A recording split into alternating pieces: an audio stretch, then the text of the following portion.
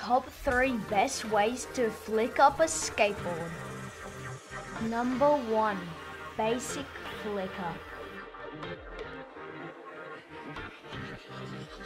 Push down with your foot really fast, then catch the board.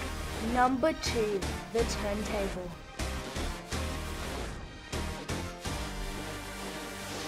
Shift your foot fast, then grasp the nose of the board.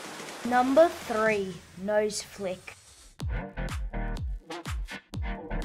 Step forward with your front foot, then flick up the nose with your back foot. Bonus 180 flicker. Push down the corner of the tail with force, then catch the board.